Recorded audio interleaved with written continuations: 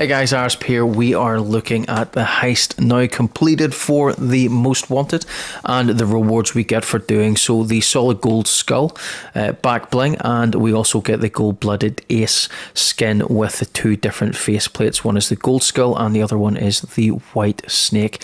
With that all done, we actually get a set of bonus quests which we have just over two weeks to complete if you manage to finish it all today.